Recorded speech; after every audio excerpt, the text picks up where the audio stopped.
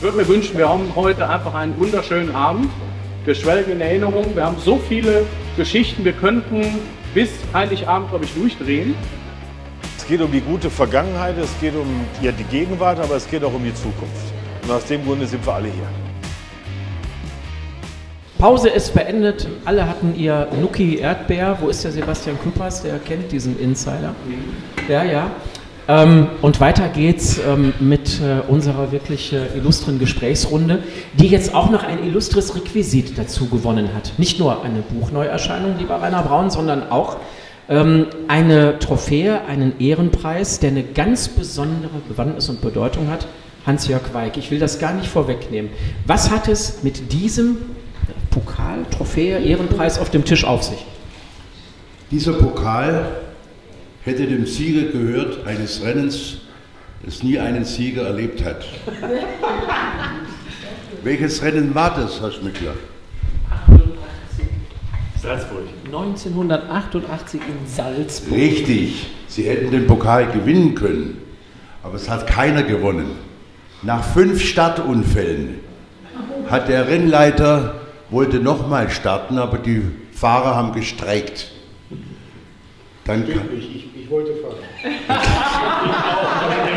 Ein, einige wollten natürlich fahren, aber in der Zwischenzeit ist es schon dunkel geworden und die Fahrer haben dann mehrheitlich abgestimmt, sie wollen nicht mehr starten. Nein, nein, nein, so war das nicht.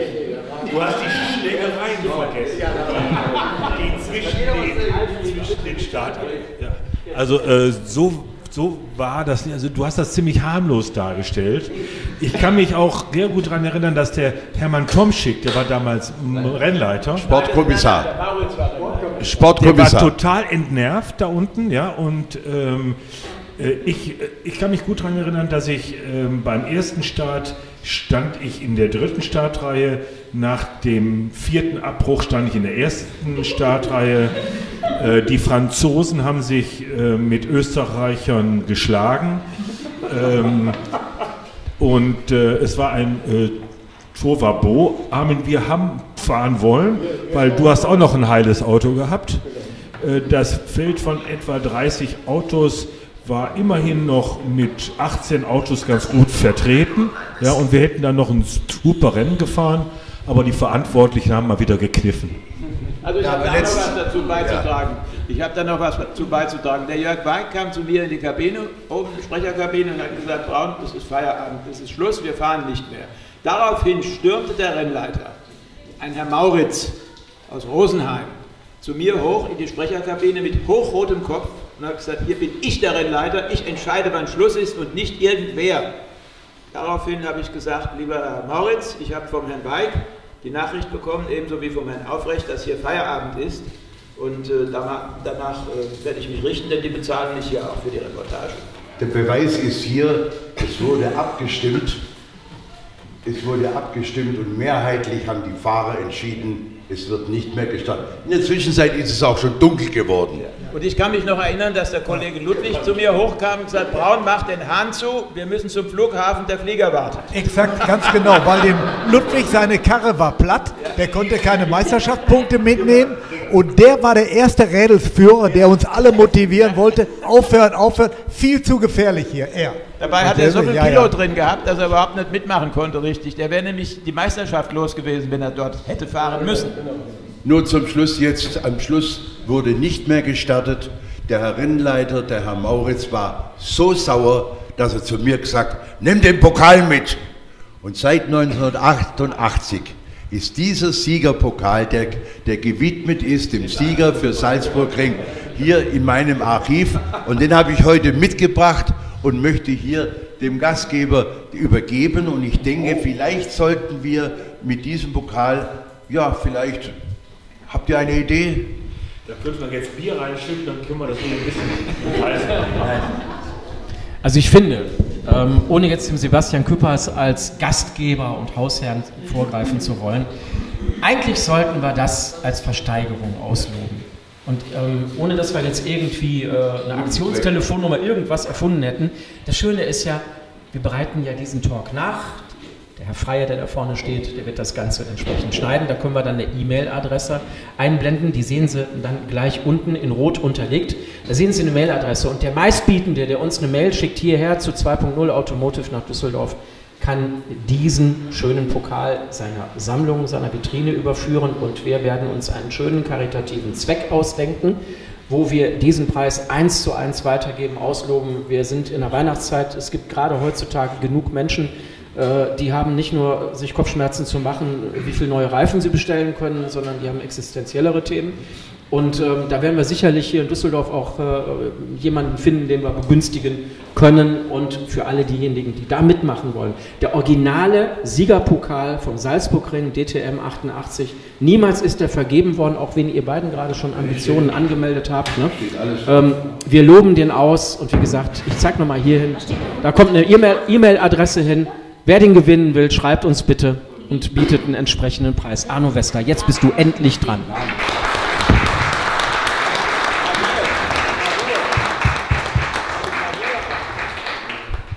Das erste Gebot schon. Nein, nicht, ich habe gesagt, der Pokal hat eine Gravur auf dem Deckel mit Datum und allem drum und dran. Also das ist eine wunderbare Geschichte, da lohnt es sich ordentlich zu bieten, damit auch was Gescheites für einen guten Zweck rauskommt. Arno. Ich glaube, die Zahl sollte wenigstens wie viele Stellen haben? Ja, die Zahl ist gut, äh, die Idee ist gut und ich bin ganz sicher, da wird sehr viel für geboten, weil das ist etwas ganz Einmaliges. Die Idee ist super. Und ich bin wirklich gespannt, was da zusammenkommt. Das für einen guten Zweck zu spenden, ist, glaube ich, wirklich toll und kommt gut an. Aber der Vollständigkeit halber zu diesem äh, wirklich spektakulären Wochenende mit einem ungewöhnlichen Ausgang ist es auch eine Zahl. Wir wissen alle, in der neuen DTM seit 2000 hat die DTM immer mit Starterzahl zu kämpfen gehabt. Der Herr Berger hat sich in diesem Jahr gerühmt, dass mal wieder fast 30 und nennt das Rekord, der Rekord, den Rekord hat der einer heute äh, schon mitgeteilt, es waren über 40. In diesem Jahrtausend zugegebenermaßen waren 29 Starterrekord. Aber an diesem Augustwochenende 1988 sind von 31 Startern im ersten Rennen letztendlich neun in die Werte gekommen, obwohl es keine Werte gab.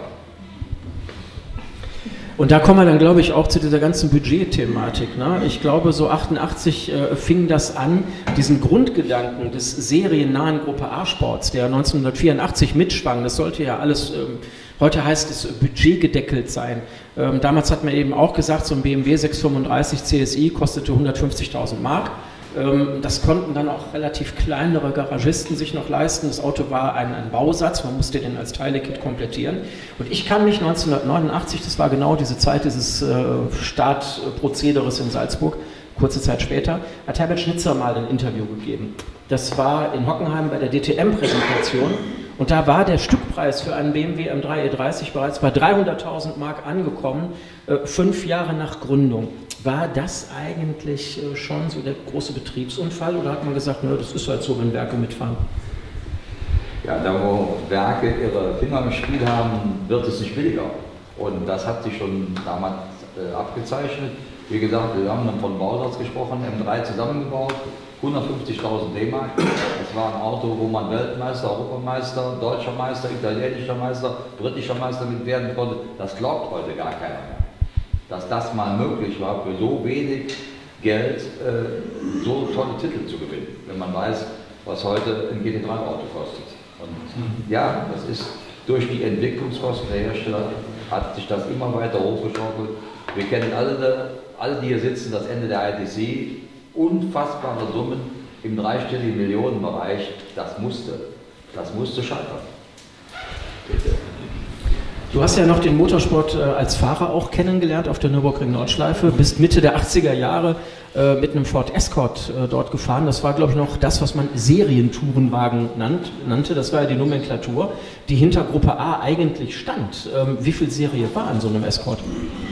Ja, das war schon ein relativ serienmäßiges Auto, das muss man sagen. Da durfte man am Fahrwerk arbeiten. Äh, es wurde natürlich mit Slicks gefahren. Der Motor war fast serienmäßig, also das ist, ich weiß noch ganz genau, 82, äh, 1982, also jetzt vor 40 Jahren, Das glaubt mir heute kein Mensch, der Langstreckenpokal gewonnen und am Jahresende, als man dann mal einen Kassensturz gemacht hat, ich habe das zu Hause noch, da steht tatsächlich eine Zahl von 22.700 D-Mark für die gesamte Saison mit 10 VLN-Rennen. Das ist einfach unvorstellbar. Ich kann es heute selbst nicht fassen. Frank, kommen wir mal zu dir. Ähm, du hast ja auch diese DTM-Phase erlebt, äh, in der die Technik äh, in ganz kurzen Zeitabständen riesige Schritte machte. Du kamst 1988 als BMW Junior zu Zack Speed, das war noch die Zeit der 2,3 Liter Version. Und schon zwei Jahre später, als du dann im Lauf 4 auf der AWUS in Berlin 1990 zum MM Diebels Team kamst mit Günther Moormann, da war der Sport Evo da, 2,5 Liter. Ähm, andere PS-Zahlen, andere Budgets. Und in dem Jahr dazwischen warst du Formel 3 gefahren mit einem gewissen Michael Schumacher an deiner Seite. Wie hast du diese Jahre erlebt, die ja ausgesprochen wechselvoll waren? Ja gut, für mich, für mich kam der Einstieg eben in die DTM auch wieder über die Formel 3, weil ich 86 und 87 ebenfalls schon unterwegs war. Äh, in diesen beiden Jahren immer total unterfinanziert hat auch äh, lustige Geschichten demzufolge erlebt. Äh, da liefen Trainingssitzungen und ich hatte keine Reifen dafür. Musste erst noch telefonieren und äh, nach Köln telefonieren, um überall hin telefonieren, um Reifen zu kriegen, damit ich mein Training fahren konnte. Hat aber funktioniert, hat glaube ich auch ganz, ganz, äh, hat mir auch weitergeholfen, definitiv. Ähm, und dann kam ich eben über diese Einladung von BMW und äh, zur Junior-Sichtung, die ich dann gewonnen habe und demzufolge durfte ich auch teilnehmen an der DTM und für mich persönlich war es einfach das Größte, doch zu fahren, doch mitzufahren etc. Und, und, und äh, also ich habe einfach immer nur letztendlich nur Tourenwagen, Tourenwagen dann noch im Kopf gehabt. Und dann ging es dann tatsächlich weiter und es gab eine Thematik über Mercedes mit Junior Team etc., Gruppe C und äh, war eine tolle Geschichte, ist aber leider für mich absolut in die Hose gegangen, das ganze Thema. Und äh, habe mich dann im Jahr 1989 wieder gefunden ohne einen Drive, beziehungsweise dann über die Junior-Sichtung, die dann gut funktioniert hat, ähm, kam dann wieder ein Wilhelm Weber auf mich zu, wo ein Michael Schumacher schon unter Vertrag war. Und da sollte ich von da aus in die Formel 3 einsteigen mit weiterem Vorausblick eventuell mal, eventuell mal in die Formel 1 hineinzugehen. Aber meine Güte, wir wissen alle, wie, wie steil dieser Weg ist oder damals auch dieser Weg war, dorthin zu kommen. Aber wenn man diese Gelegenheit hat, Gelegenheit hat, dann versucht man sie auch zu nutzen. Und da kam eben diese Thematik zusammen, dass es zum einen Zackspeed gab, wo ich als Junior gefahren bin, BMW. Zackspeed hat gleichzeitig Formel 1 gemacht. Dann gab es die West als Sponsor hinten dran und das ganze Package hat wunderbar gepasst. Ich hatte seinerzeit von äh, Erich Zakowski die Zusage auch sogar einen Formel 1-Test. Und wie es dann so kam, Ende des Jahres, macht immer die Rollleiten bei Zack Speed runtergezogen. Und dann habe ich da gestanden. Das war super, dann kann ich da ernst sein. Ja. Mit anderen Worten, ich hätte auch 1989 auch BMW fahren können. Ich hatte einen Vertrag vorliegen, zur Unterschrift bereit habe mich dann aber entschieden, nochmal in die Formel 3 zurückzukehren, mit Voraussicht. Ist leider Gottes in die Hose gegangen. Und der Grad zwischen Held und Blödmann ist natürlich verdammt schwer. Hätte das funktioniert, hätten sie mir alle auf die Schulter geklopft, hätten alle gesagt, hast du super gemacht. Ist in die Hose gegangen, haben sie alle gesagt, wie konntest du nur? Also einfach, was man damit sagen will, ist, wie, grad, wie schmal dieser Grad tatsächlich ist. Aber Frankie, ich muss hier noch was anfügen. Das ist schon, glaube ich, ganz wichtig zu wissen. Ich glaube, du bist einer der ganz wenigen, äh, die ich kennengelernt habe, von Beginn an in der Formel Ford 1600 bis heute, die sich optisch nicht verändert haben. Und da liegen gerade mal eben 40 Jahre dazwischen. Ja, unglaublich. Wir haben, äh, wir haben gerade Fotos gesehen haben gerade ein Foto gesehen von hinten. Frank, du siehst noch genauso aus wie vor 40 Jahren. Das ist nun mal so. Also, ja. du hattest damals sehr gefallen. Aber einen wunderbaren schwarzen Formel Ford hattest du. Es war das schönste Auto im ganzen Feld. Immer geputzt, immer sauber wie der ganze Kerl. Also ich kann auch nur sagen, Schmicki seit Jahrzehnten, als er 30 geworden ist, haben wir im Porsche-Zelt gefeiert in Hockenheim. Und dann haben wir eine 30, hat der Kamps oben auf sein Dach drauf gemalt. Der ist mal wahnsinnig geworden. Eine 30 stand da drauf.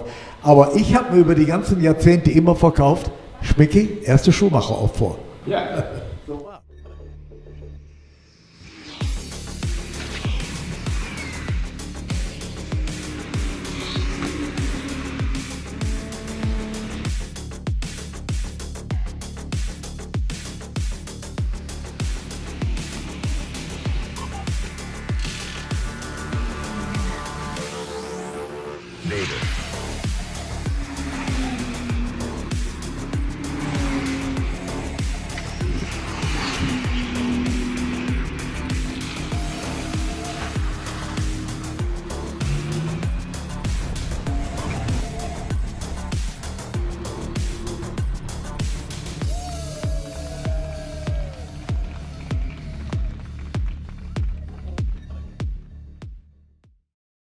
Ja, so ist es. Ja, absolut. Und wo wir bei der 30 sind, ähm, das bringt mich auf ein weiteres Zahlenspiel, nämlich 30 Jahre später. 1988, Zackspeed Junior, BMW M3 E30. 30 Jahre später, im selben Fahrzeugtyp wieder sitzend, 2018. Tourenwagen Classics hieß das damals, äh, im Team unseres Gastgebers, bei Sebastian Küppers. Ähm, wie war das denn 30 Jahre später mit 2.0 Automotive in Hockenheim vor dieser riesen Kulisse des Saisonfinales zu fahren? Halbes Jahr später auf dem Norrisring nochmal diese Gelegenheit wieder vor ganz großer Kulisse. Wie war diese Zeitreise für dich? Ja, einfach, einfach super. Also erstmal danke an Sebastian äh, für die Einladung, dass ich eben dort fahren durfte. Und äh, es war einfach ein Déjà-vu. Ja? Reingesetzt und nach den ersten Metern schon wieder gemerkt, hey, so was hast du schon mal gemacht. Das war toll. Und weil einfach da war wieder Emotionen, wie der Streit etc. und, und, und die Drehzahl, äh, wie vorsichtig man auf der Bremse ist, damit nicht alle vier Räder stehen bleiben etc. und und und und, und alles wieder zu finden. Aber ruckzuck, das war dann manchmal ruckzuck wieder im Thema drin. Nach ein paar Minuten hat man wieder das Gefühl, wie das Fahrzeug sich wieder bewegt. Also von daher war super schön. Würde ich natürlich jederzeit wieder machen, ist ja klar. Keine Frage. Ich glaube, die öffentliche Bewerbung haben wir verstanden. Armin, du bist vor äh, drei Jahren, also auch gute 30 Jahre später, auch bei den Tourenwagen Classics um die Meisterschaft gefahren. Sogar mit einem Ford Sierra, ich sage jetzt bewusst nicht RS500, das wäre irreführend, aber mit einem Ford Sierra Cosworth, der so ähnlich auch beklebt war wie dein 88er und 89er Wirt-Auto. Du bist auch Meister geworden im Team von Volker Schneider. Wie war denn dein Déjà-vu? Das war ähnlich. Wie, äh, wie wir es gerade gehört haben. Aber ähm, gut, das Auto war jetzt nicht mein echtes Auto von 88 oder 9 oder 87, sondern es war ein Auto aufgebaut auf Gruppe N mit Gruppe A-Teilen. Aber es, es hat mir sehr viel Spaß gemacht, vor allen Dingen gegen das andere Team von, von Sebastian, beim, beim letzten Lauf zu, zu gewinnen. Vielleicht äh, können wir ja mal unsere, unsere Kräfte vereinen und im nächsten Jahr was, was gemeinsam machen. Noch, noch eine öffentliche Bewerbung und da kommen wir dann gleich zum Harald. Ähm, lieber Harald, ähm, nee, nee, nicht da vorne hingucken, zu den Fernsehbildern kommen wir noch. Ich weiß, da warst du wahrscheinlich gerade im Bild mit dem roten Valier BMW, ist Saison 90. Ne? Nein, ähm, du bist ja auch einer der Protagonisten gewesen, dieser Wiederbelebung des historischen DTM-Sports. Äh, in deinem 87er Vogelsang-Auto bist du auch von 2017, äh, 2018 an wieder Rennen gefahren bei den Tourenwagen Classics und lustigerweise bist du ja ein, ein bekennender Freund dieses Hauses, 2.0 Automotive. Aber wenn ich das richtig auf dem Schirm habe, bist du für die Truppe hier noch nie gefahren, stimmt, ne? Ja, also Sebastian hat nie Kohle rausgebracht. so einfach ist das. Daran hat es gelegt.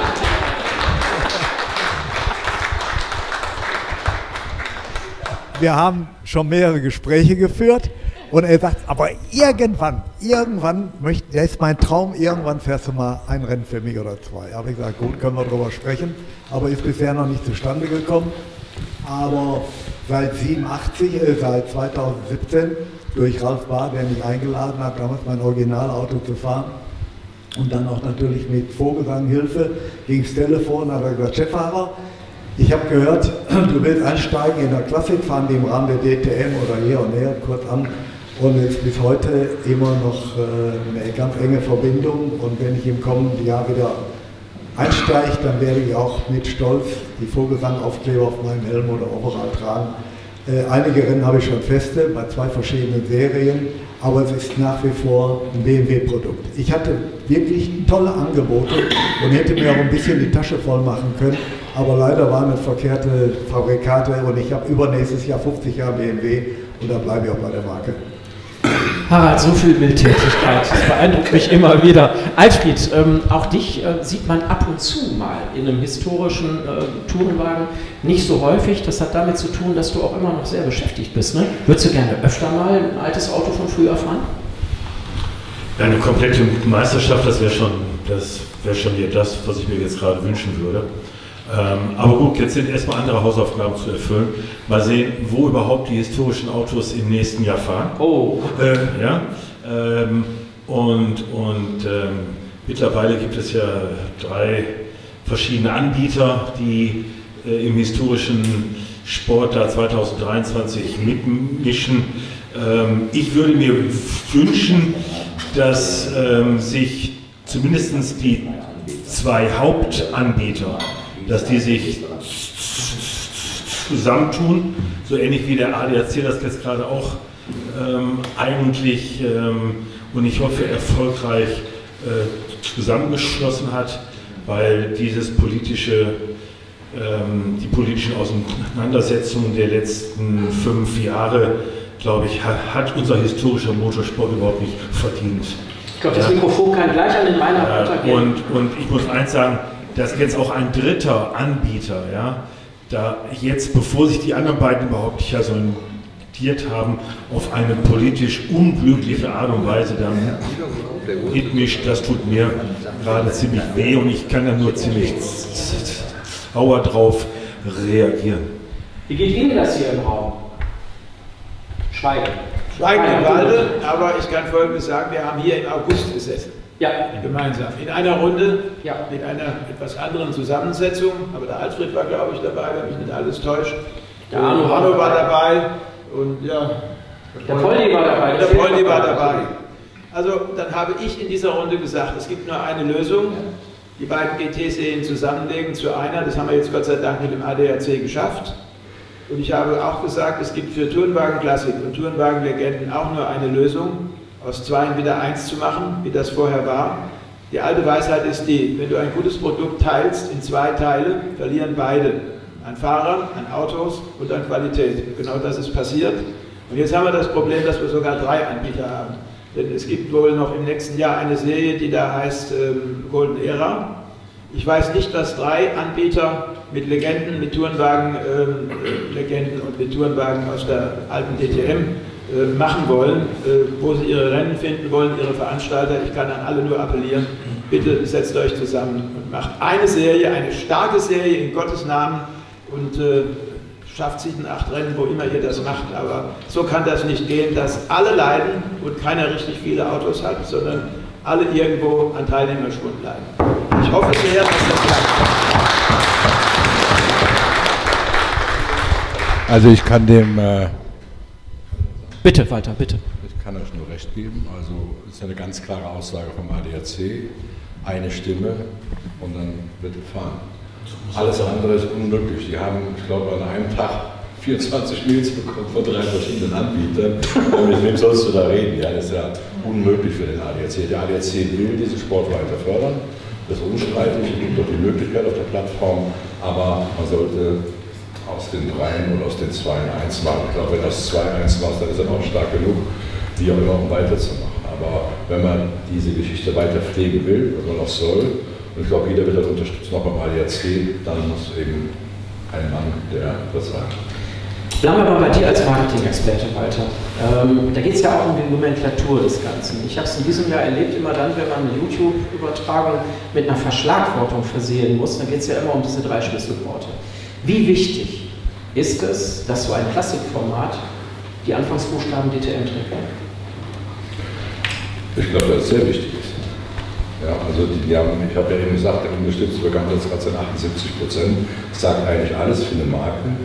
Und ich meine, der Gerd hat einen riesen Job gemacht, aber er hat auch von der Marke gelebt. Ja, und ich meine, andere, die haben die gleichen Autos, die haben vielleicht ein anderes Format, aber die sind bei weitem nicht da in der Zuschauergunst, die ja von Anfang an war. Die Marke ist einfach da.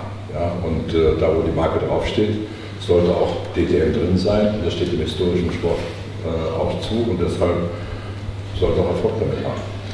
Da kommt es ja schließlich her. Ich meine, die Autos haben die Marke mit geprägt. Ne? Das ist eigentlich nur logisch, Arno, oder? Du hast die Szene so viele Jahre erlebt, über Jahrzehnte. Welche Einschätzung hast du zu diesem Thema? Also ich schließe mich da Rainer äh, ganz klar an. Es gibt eine Bühne, die wir in Deutschland haben. Wir haben seit drei Jahren gesagt, seitdem es die beiden Serien gibt, DTM und äh, GT Masters, es macht keinen Sinn, dass wir zwei Top-Serien auf zwei verschiedenen Plattformen haben. Und jetzt gibt es das, dank ADAC, dass wir nur eine haben. Und wenn die Herren, die da jetzt glauben, ihr Ego auszuspielen, wenn die das nicht kapieren, dass diese Plattform die beste ist, die wir anbieten können, dann kann man denen auch nicht helfen. Das wäre ein riesengroßer Fehler. Und das muss denen einfach entweder gesagt werden oder wie der ADAC und weil die jetzt eben gesagt haben, dann müssten sie eben ihr Ding machen. Ich weiß noch nicht, auf welche Plattform sie da waren. Auf jeden Fall nicht auf so einer guten Plattform, wie der ADAC sie jetzt geschaffen hat. Absolut richtig. Christian, vielleicht nimmst du ja auch nochmal äh, die Flüstertüte in die Hand. Du bist 2018 ja bei den Tourenwagen Classics gefahren, hier für diese Mannschaft 2.0 Automotive, gemeinsam mit Mark Hessel auf einem Zackspeed BMW M330. Und danach warst du auffällig ruhig, was dieses Metier anging. Warst du ein bisschen angefressen von diesem Tauziehen der Sportveranstalter? Hat dich das genervt? So wie mich das Sack gegangen. genervt hat? Ich genervt, das ist mir auf den Sack gegangen. Wie, im, wie in einem Kindergarten hast du mit erwachsenen Menschen zu tun, die äh, natürlich alle ihre Beweggründe haben, jetzt was anderes, aber, aber dieses Hin- und Hergezerre und das ist heute noch so. Ich gehe über die Motorshow in Essen die Woche und dann, äh, komm mal her, machen wir mal ein Bild. Ich sage, nein, wir machen kein Bild. Weil ich genau weiß, das war jetzt kein, sollte kein Erinnerungsfoto sein. Es geht dann darum, dass man wieder sagt, ja, bei uns am Stand zu Besuch war heute. Also, ja, wo man, wir, wir beide müssten jetzt einfach nur drüber gehen und sagen, komm, wir trinken einen Kaffee und schon haben wir äh, eine Einschreibung unterschrieben, so ungefähr, wo man echt sagt, da, ihr gebt mir alle auf den Sack. Alles begann mit zwei Freunden und einer Vision. Unsere Initialen stehen für Qualität und Fortschritt. Wir schaffen den Technologietransfer von der Rennstrecke auf die Straße. Wir fertigen Gewindefahrwerke, Sportfedersätze, Stabilisatoren, Distanzscheiben und Gewindefedern zu 100% in Deutschland. Wir arbeiten mit Herzblut und Hingabe für diesen einen Moment. Wir sind Motorsport. Wir sind H und R. Deswegen muss ich zugeben, habe ich mich, ich habe das ja hier äh, Sebastian vor einigen Jahren ins Leben gerufen, dieses Thema. Ich glaube, ich bin das mit schuld, dass es dieses Auto gibt. Ich wusste, dass es Chassis gab und ich habe die hier bearbeitet. Ich habe hier ja in diesen Hallen lange gearbeitet, weil ich habe hier eigene Oldtimer, die ich in diesen Hallen hier selber restauriert habe. Ich habe ja selber zwei M3s und die habe ich hier in diesen Hallen selber restauriert. Und dann kam damals, habe ich die Teile im Keller liegen sehen. Ich sage, Alter, jetzt baue das Auto mal auf. Und dann ist das auch wirklich so passiert. Und dann habe ich dieses, äh, sind wir da mit Rennen gefahren. Das hat einen Riesenspaß gemacht. Ich habe auch mitgeschraubt und das war einfach geil. Ja. Und, äh, und dann dieser ganze Palaver, habe ich gesagt, wisst ihr was, ich mache hier nicht mehr mit, das ist mir alles zu doof. Und seitdem sieht man mich da auch nicht mehr. Und, äh, und ich schließe mich aber allen Rednern hier an, wenn da jetzt mal eine, eine ordentliche Struktur ist, ohne Hickhack und Tralala und jeder lässt dann über jeden, dann habe ich da vielleicht auch mal Lust, damit einzusteigen. Aber es kann nicht sein, dass du dich äh, 70 Prozent deiner Anwesenheit nur mit diesem Theater beschäftigst. Ich will mich, wenn, mit ein paar guten Leuten zusammensetzen, ein bisschen lachen, ein Bier trinken, Spaß haben. Da ist der Schmicki gerade im Fernsehen. Du warst der Schönste immer. Du bist ja heute noch, du bist ja heute noch. Un habt ihr schon mal, ihr müsst mal, ich habe das die Tage schon mal. Äh, äh, nein, nein, muss ich, pass auf ich muss das loswerden. Schmicki, das ist mir vorhin schon auf die Zunge gelegt. Ich habe mit dem Typen schon mal zusammen mir ein Hotelzimmer geteilt. Ja? Das stimmt, das stimmt, das ist kein Schwachsinn. Dann wollte ich mir morgens einfach mal die Zähne putzen, die Haare gerade ziehen. Eine halbe Stunde sauer der da drin, der, der, Typ. Was macht der da? Da hat er sich, da hat er sich rasiert, er hat sich die Haare mit Gel und dann noch ein Löckchen beigedreht. Ja, ja. Christian, lass einfach so stehen. Nein, nein, nein, nein, nein. Ist, du bist der liebe Kerl, aber ein Zimmer kann man es mit dir nicht teilen. Und seitdem, wenn wir unterwegs sind, gibt es immer nur Einzelzimmer. Das ist, das ist die Bedingung, mit, wenn, weil sonst kommt ja keiner aus dem Frühstück morgens. Danke. Habt ihr euch nicht schon mal ein Auto geteilt auch? Haben wir schon mal Ein Badezimmer habt ihr euch geteilt? Bade, die Karre sind wir uns gefahren und Karre gab früher immer. Ja, ja. die abschießen. Ja, war ich schon. Hätte ich besser mal getan. Die Bilder habe ich noch am Foto, ja. am Handy. Ja. Die hast du von mir. Ja. ja. Ich hätte dich abschießen sollen, du Schwein. Aber hat nicht geklappt, wollte ich nicht. Ich war, ich war zu gut damals. Nein, ich, war, ich, wollte, ich wollte so nicht gewinnen. Das, das, ist, das hat was mit Ehre zu tun. So gewinnt man nicht. So, wer will noch? Nee, bleib, bleib mal dabei. Okay. Vielleicht wieder zurück zum Thema DTM Klassik. Ich unterstütze das, was bis jetzt gesagt wurde, weil nicht aus dem Grund, dass man jetzt unbedingt hier eine Einigung erzielen muss, sondern wir machen Motorsport für unsere Rennbesucher, für unsere Fans. Und die werden es uns danken, wenn wir hier wieder einheitlich auftreten. Und ich möchte nur ein Beispiel sagen. 1989 ist die DTM im Rahmen des 24-Stunden-Rennens gefahren. Ich glaube Donnerstag war ein Feiertag. Und nach dem Rennen hatte Geisecker und ich die Idee, alle Fahrer im Cabrio um die Strecke zu fahren. Wisst ihr das noch? Die Zuschauer kamen alle auf die Straße runter. Die Runde hat vier Stunden gedauert. Moment, nicht von allen. Die längsten war der Harald Groß, der Strezek und der Roland Asch. Die haben über vier Stunden gebraucht, bis sie zurück waren von dem Autogramm schon. Das sind die Erlebnisse. Das sind die Erlebnisse. Nur einer ist ausgeschert, das war der Ludwig, der ist in seine Hütte gefahren.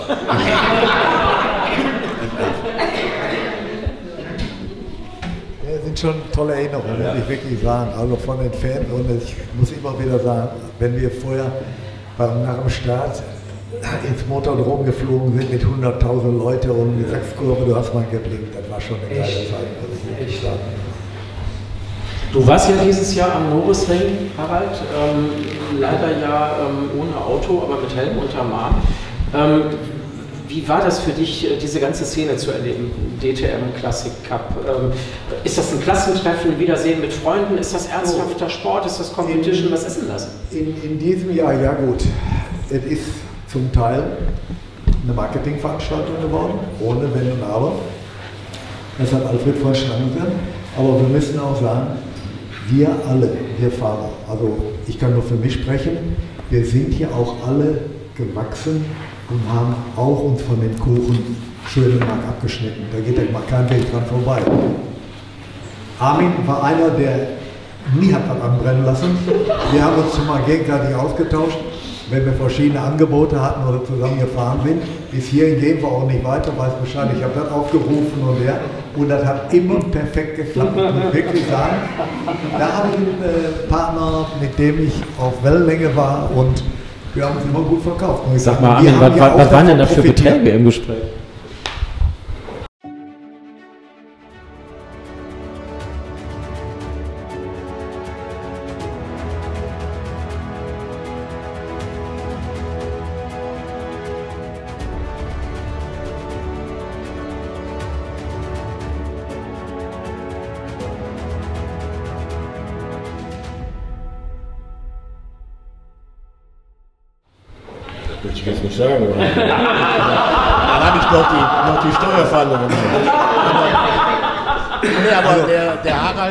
Einer der, der wenigen, mit dem man äh, die, die Sachen absprechen konnte. Und der hat genau das gemacht, was er, was er vorher sagte. Und nicht äh, einen ins Ausweglose laufen lassen. Also, Armin, ich muss dich noch mal was fragen.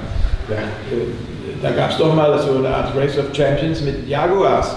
Und ich glaube, das hast du gewonnen. Kannst du uns noch sagen, wie hoch das Preisgeld war?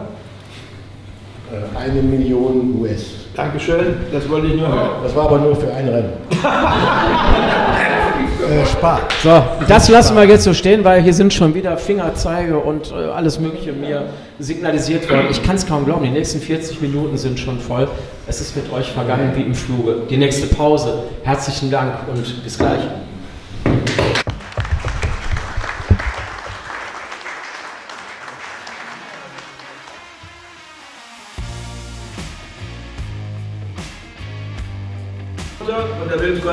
Wehren. Er zog aber dann auch noch weiter. Und das war der erste DTM-Lauf in der Geschichte und der einzigen, der mehr oder weniger von einem nackten Starter äh, auf die Strecke gelassen wurde. Der Clou dabei war allerdings, dass das kaum jemand gemerkt hat, weil alle auf den Start geguckt haben. Lieber Rainer, du hast uns in den letzten Jahren so viele tolle Geschichten geliefert. Du hast über alles geschrieben, was nur Rang und Namen hat, über was dir passiert ist in den Jahren. Aber keiner hat über dich geschrieben. Das macht nichts. Doch, es ist sehr wichtig, weil auch du musst mal genannt werden. Und ich habe eine vor Jahren schon eine Geschichte über dich geschrieben